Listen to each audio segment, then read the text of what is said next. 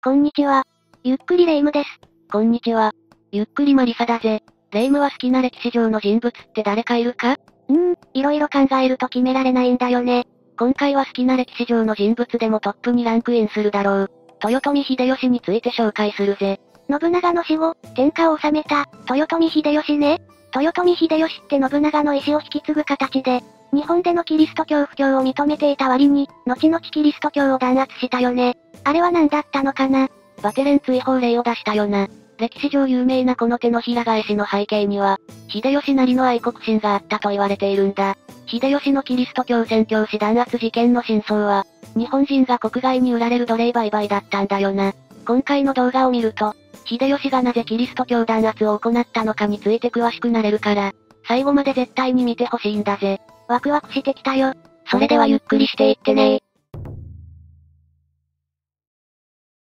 1587年に豊臣秀吉がバテレン追放令を出して、キリスト教の布教と南蛮貿易に制限をかけたのは、日本史の教科書で勉強したよ。信長の時代から、キリスト教は国内での布教を認められていて、秀吉もその政策を受け継いで、イエズス会などの布教活動に受け入れる姿勢を見せていたんだよな。その証拠に、イエズス会準官区長の宣教師であった、ガスパール・コエリョに対して、布教の許可書を渡すなどしていたんだぜ。その秀吉がなぜ急に麻薬の方向に暴走したのかな？そもそも日本でキリスト教が伝わったのは、1549年からだと言われている。当時はまさに血で血を洗う戦国時代の最中。薩摩にある祇園の巣というところに、スペインのイエズス会宣教師である、フランシスコ・ザビエルが上陸したのがきっかけだったんだぜ。フランシスコ・ザビエルのモノマネはよくやったよねザビエルは信長に謁見して、国内での布教活動の許しを得て、次第にキリスト教が広まっていったことは周知の事実だよな。うんうん。ザビエルの上陸から少し時間が経った1563年。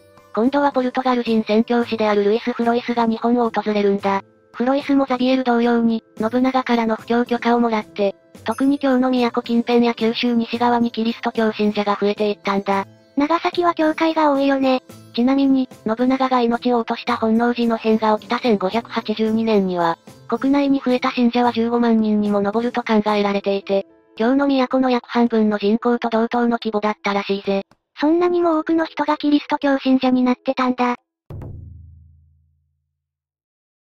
さて、時代は移り変わり、秀吉が天下を治め始めた頃、秀吉は信長と同様、キリスト教の布教を認める立場だったんだ。理由は、布教を許す代わりに、西欧諸国との南蛮貿易が活発になることで、経済的に利益が大きいと感じていたからというのが理由のようだな。実際、南蛮貿易では、諸外国から鉄砲、火薬、それから中国製のキートなどが主に輸入されていたよね。日本からは銀、金、刀剣などが輸出されていたそうで、貿易で上がった利益は秀吉政権の財政において重視されるべきものだったんだ。かなり利益があったんだね。ところが、1586年に、秀吉が薩摩の支配者島津家の打倒を目指した、九州平定が始まって、歴史は大きく動き始めるんだ。その時歴史は動いた。九州各地で抵抗する島津軍は、一説に20万人とも言われる秀吉の大軍になすすべがないよな。翌年、ついに島津家当主である島津義久が秀吉に和睦を申し入れ、九州は秀吉の参加に加わることになったんだ。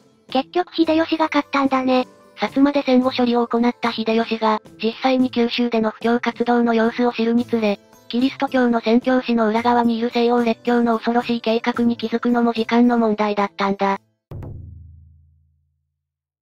なんだか怖い感じがしてきたよ。恐ろしい計画って何かな？当時、九州各地を治めていた大名たちは、キリスト教の宣教師たちと良い関係を築いていたんだ。布教により、お互いに利益を見出し、お互いに助け合う関係性であったと言われているんだ。それなのに雲行きが怪しいね。この関係性がいつしかマンネリ化し、次第に歪み始めるんだ。キリスト教が広まるにつれ、態度を変え始める宣教師が出てきたんだ。例えば、キリシタン大名の領地内で、神社やお寺が破壊されるなどの、いわゆるテロのような暴力事件が増加したんだ。それは起こる。絶対にダメだよ。いぶかしむ秀吉に対して、コエロは、日本古来の自社仏閣を日本人信徒たちが破壊するのは、神道や仏教には救いがなく、自分たちが救われるのはキリスト教の教えでしかないと、信じているからだと説明したんだ。それは信じている人が聞いたら傷つくよ。それに加えて、博多で秀吉とコエロが面会をした時、小江戸は自ら建造に関わった最新式の軍艦に秀吉を案内したんだ。船の上で、軍艦による武力を自慢するかのように、自分たちがその気になれば、いつでもスペインの無敵艦隊を動かせると、自信たっぷりに話したんだぜ。聞き方によると、それは逆らうなという脅しにも取れそうだよ。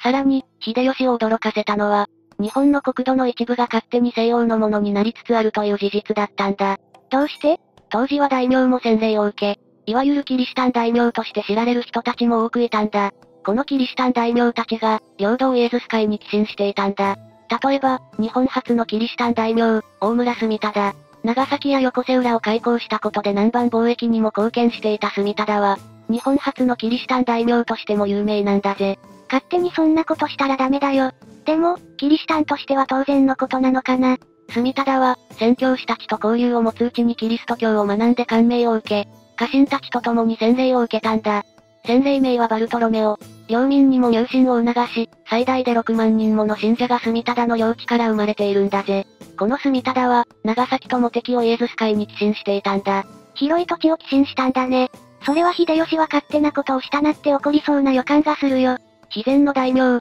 馬春信は、佐賀から虎視眈々と自然を狙う雄三寺高信に対抗するため、イエズス会に軍事、経済両面で支援を受けていたんだ。イエズス会は軍事面でも経済面でもバックアップできる力があったんだね。島津軍と連合で雄三寺軍と向かい合った際、わずか6000から8000人程度の軍勢でありながら、イエズス会から譲り受けた大砲の活躍もあって、圧倒的に不利だった戦況を跳ね返しているんだ。春信は、この運将として、浦上村をイエズス会に寄進しているんだ。徐々にイエズス会の土地が広がっていくね。天下人である秀吉の許可も得ず、領土を明け渡すなどもってのほか、秀吉からすると、信仰上の理由があるにせよ。外国人に領土の一部を譲渡するなど言語道断なんだ。それは当然。怒るのはわかるよね。しかも周りを見渡せば、他にも熱心なキリシタン大名は少なくない。一時、九州の覇王とも呼ばれた大友宗麟は、宣教師の話や、南蛮由来の贈答品を受け取り続けて、キリスト教への関心を深めていったんだ。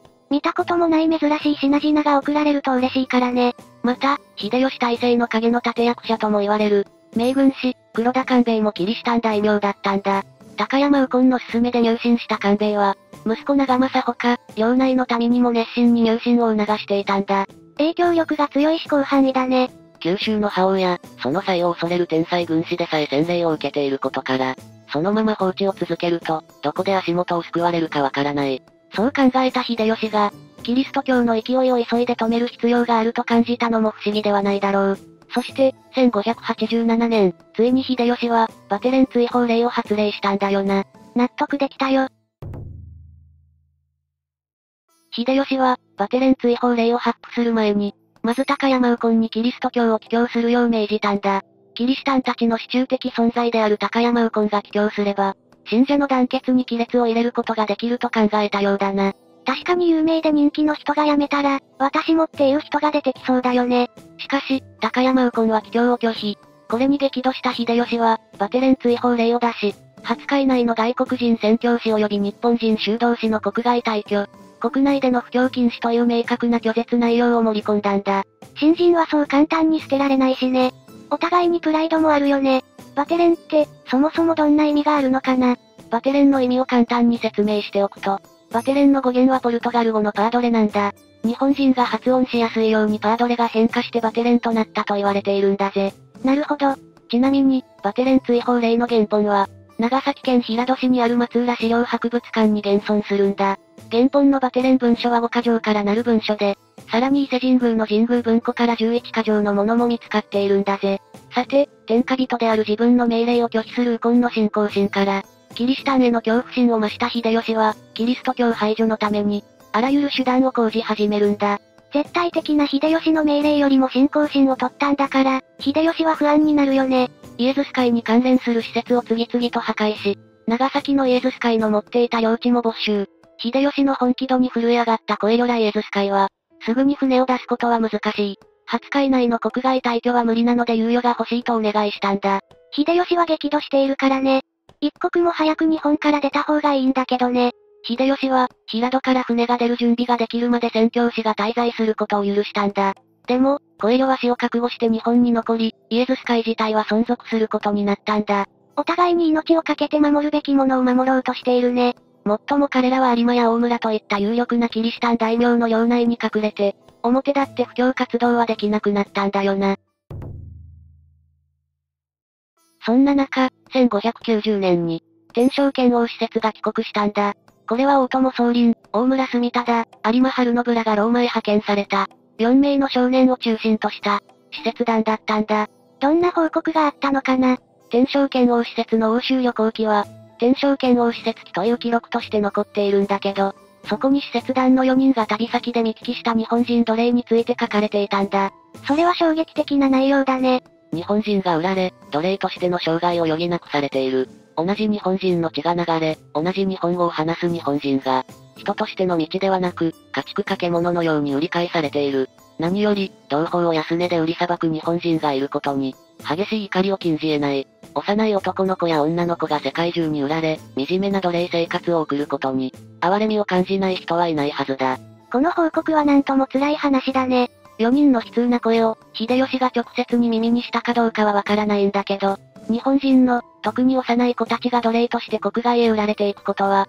秀吉も感づいていたんだろうな。売られていくのは農村の貧しい子供が多かったようだな。同じような境遇から這い上がった身の上としては、他人事に思えなかったのかもしれないよね。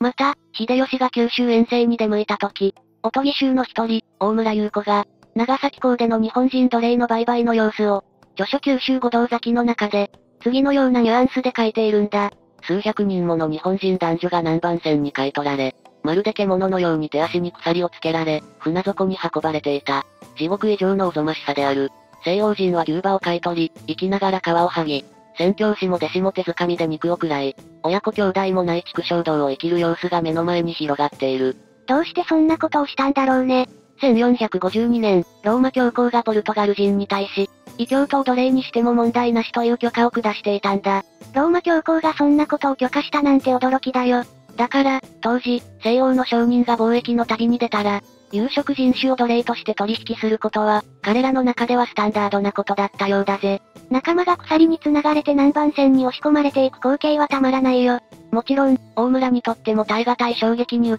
ていたんだ。ちなみに、肉を手づかみで食べるというくだりについては、西洋では当時まだフォークやスプーンを使って食事をする習慣が、定着していなかったことを示しているんだよな。大村からこうした報告を受けた秀吉は、劣化のごとく怒り狂い、声を呼びつけ、なぜ、この非道な行為を行うのかと問い詰めたんだ。当然だよ。許せないからね。ところがコエリョは、売る人がいるのだから買う人がいる。仕方がないし当然のことだと言い返したようだ。当時のポルトガル人は、宣教師たちも含めて、彼らは人種差別を常識としていて、道義的な抵抗感なく黒人など有色人種を奴隷にしていたんだ。イエズス会の東インド管区巡察士であった。アレッサンドロ・バリニャーノは日本人の性質について、日本巡察機に次のように残しているんだ。極めて忍耐強く、飢餓や歓喜のほか、人間としてのあらゆる苦しみや不自由に耐え忍ぶ性質である。日本人って我慢強いんだよね。このことからも、奴隷としてはうってつけの性質を持つ民族であると、ポルトガル人たちが考えたとしても不思議ではないよな。でも、喜べないよね。奴隷の売り手については、キリシタン大名たちが、間接的に関わっていた可能性も囁かれていて、国外に連れ去られた奴隷の数は、その数5万人以上と言われているんだ。主にポルトガルの商人が奴隷を買い、東南アジアやマカオなどに拠点を置いていた白人富裕層に売られるほか、インドやアフリカ、南米、欧州といった各地へも売られていたようだな。5万人とはかなりの人数だね。許せない。なぜ東南アジアに日本人奴隷が売られていったんだろうね。何か理由があったのかな。諸説あるんだけど、東南アジアに存在していた日本人町の存在は無視できないだろうな。例えば、タイのアユタヤ。最盛期には1500人ほどの日本人が暮らしていた日本人町で、アユタヤのように14世紀から18世紀頃まで、東南アジアで多くの日本人町が作られていたんだぜ。町を作るほど大きな規模だったんだね。日本人がアジアへ流出していった経緯は様々だけど、戦国時代に助が鷹に敗れて滅び、浪人となった人々が、東南アジアに移り住んだことが始まりであるという説が知られているんだ。そんな遠いところにまで移り住んでいたんだね。もともとは戦国乱世のサバイバルを戦い抜いていた武士だから、傭兵として軍事力を買われたのも納得できるよな。アユタや国王に重用された。山田長政などが代表例と言えるだろうな。鍛錬を重ねてきた武士は力も瞬発力もいいだろうね。日本人町には、女性が少ないという傾向があって、女性はそこへ妻として売られていったようだぜ。一方、男性の方も、当時は当たり前でもあった。難色の需要に応えるためだったと考えられているんだ。そこに人がいたら、それぞれの需要があるんだね。さて、奴隷売買という現実はあったんだが、実は秀吉は西欧との関係をシャットアウトしたわけではなかったんだ。取引するメリットがあったんだね。布教活動は禁じたものの、経済的利益を考えて、ポルトガル商船の来日は許可をしていて、南蛮貿易自体は継続していたんだよな。輸出入での利益は大きいよね。バテレン追放令の影響で、バリニャーノは、イエズス会巡察士としては訪日することができなかったから、立場を変えて、インド副王の施設として来日したんだ。そして、秀吉に謁見したバリニャーノは、バテレン追放令の撤廃を願い出たんだ。言いたいことはわかるけど、なかなか許せないよね。秀吉はこれを認めることはなかったが、ポルトガルとの貿易を続けるために、宣教師を10人だけ長崎に滞在させることを許可したんだ。こうした抜け道から、バテレン追放令の影響は次第に弱くなっていくことになったんだ。例外を作ると命令の強さは弱まってしまうよね。バテレン追放令の、緩い抜け道ってどんなものがあったのかな例えば、秀吉の命により、イエズス会関連の教会や施設が破壊されてきてはいたが、ポルトガル人のために再建せよと、真反対の命令も出ていたんだ。壊して、もう一回建てる？ちぐはぐだね。またポルトガル風の衣装やアクセサリーが国内で流行し、キリシタンではないものも流行語のようにオラ書を唱える人々がいたりもしたんだ。しかも追放令を出した秀吉自身が、ファッションとしてロザリオを身につけていたりもしたんだよな。追放令を出した本人がこれなら、誰を信じていいのかわからないよね。政治のトップからして抜け道を認めていたから、大々的な布教活動はできないものの、地下に隠れる形で信者は増え続けていったんだ。隠れて広がるのは一番良くない。そんな中、1593年、フランシスコ会の宣教師たちが、フィリピン総督施設として秀吉の元を訪れるんだ。何のために来たのかな？警戒してしまうよ。この施設は、秀吉がフィリピン征服を実現するため、フィリピンに強行を命じていた返答をするための一団だったんだ。この新たな修道会の来日から、次の惨劇が生まれてしまうことになるんだ。これ以上の辛い思いは嫌なのに。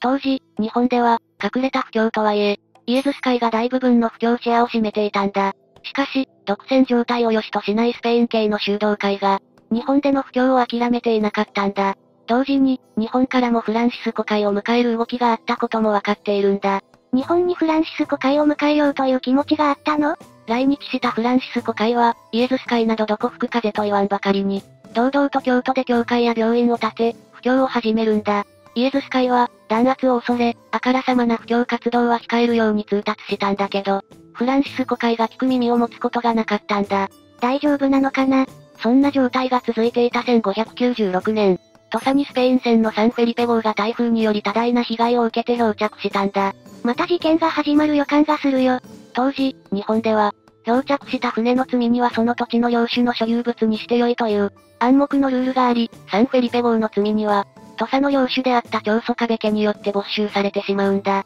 そのルールはサンフェリペ号に乗っていた人に理解されるのかなサンフェリペ号の船長マティアス・デ・ランデイチョは、長祖壁家の強奪に激怒し、今日にいるフランシスコ会士を通じて秀吉に罪人の返還を要求したんだ。難しい問題だね。だけど、すでにご奉行の増田長森が、罪に引き取りの任を遂行している最中だったんだ。増田長盛は、スペイン人航海士に航海図を見せながら、スペイン人はどうやって、フィリピンやヌエバ・エスパーニャを占領したのか、と尋ねたんだ。そこで航海士ランディアは、世界中に覇権を広げているスペインの野望を垣間見せる発言をしたんだぜ。どんな野望だったのかな？その言葉からスペインの覇権戦略が、はっきりと透けて見えてきたんだ。まず異国に宣教師を派遣し、続いて商人を送り込み、経済的にも地ならしができたところに強大な軍隊で乗り込み、国を乗っ取るってことだぜ。日本に起きていること、そのままだよね。急いで、長森。このことを察した長森は、すぐに秀吉にスペイン人の正体は征服者と報告したんだ。